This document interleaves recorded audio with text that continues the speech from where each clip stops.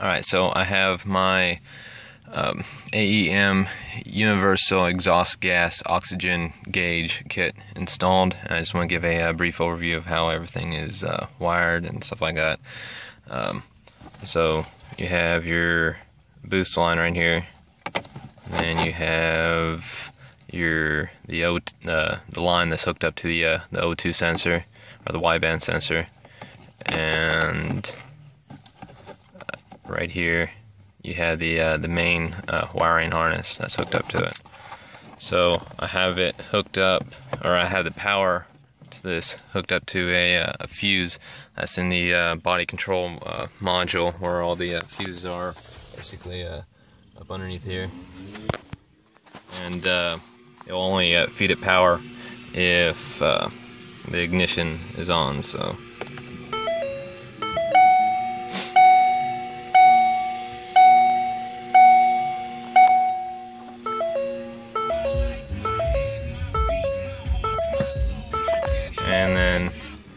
It'll go off whenever you uh, cut the ignition off.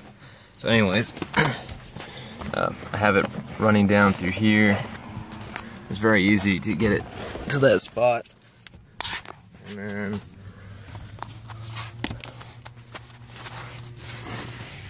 you can see underneath here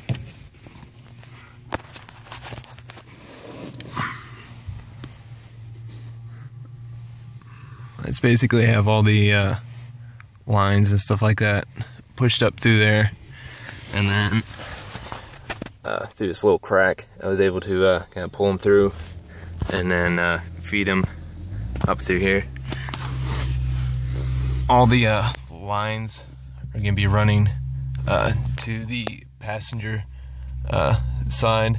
So I have it running through here. The best way to get the uh, all these lines through is basically take like a, uh, maybe like an old coat hanger or something like that, and uh, just stick it through there, um, and then either tie or uh, like tape all of your uh, your wires and stuff like that to the other end, and basically just uh, pull it all through all at once.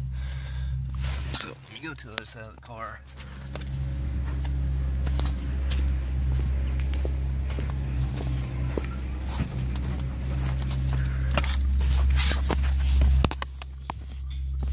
So here it is on the other side, all the uh, wires coming through. Here is the uh, remaining of the wiring harness that I haven't actually used. And you also have a uh, USB cable that you can uh, hook a uh, computer up to to modify some of the settings of the gauge. Um, so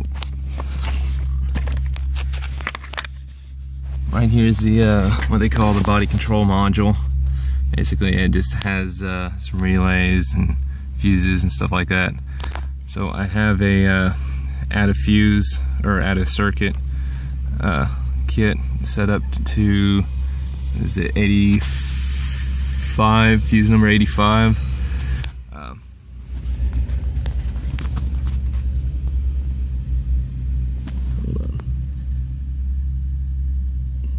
Um, it was originally the uh, 7.5 amp fuse. So anyway, uh, the uh, the ground is actually hooked up to this bar right here. Um, all the uh, like the boost line right here and the uh, the wideband line is actually ran through uh, this hole that's in the firewall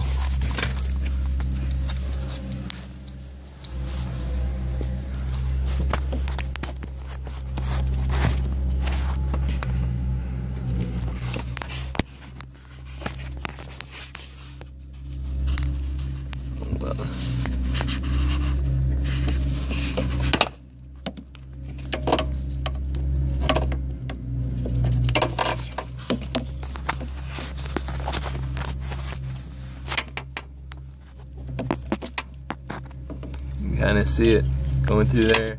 It's just this, uh, you can see it's like a almost a little rubber uh, grommet or whatever that surrounds uh, the uh, the harness that's going in through there, uh, just to you know keep uh, water out or, or whatever. And you can see the boost lines kind of running through there. So I have the uh, the boost line basically running from the intake manifold. I have it right here. Uh, I have it going back behind the uh, the passenger side mount, and then I have it running uh, underneath these uh, lines right here. And then as far as the wideband line, you can see it right there.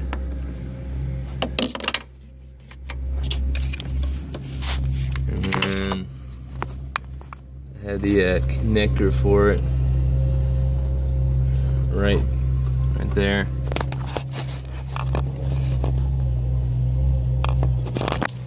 So it worked out pretty good.